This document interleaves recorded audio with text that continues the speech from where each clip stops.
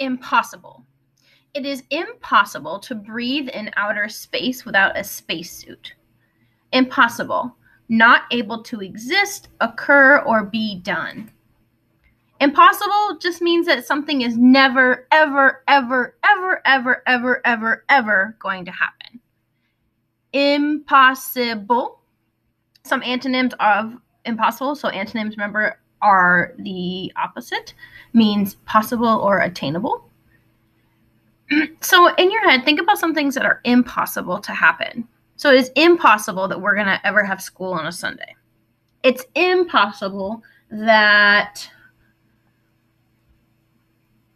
the sun is going to forget to rise.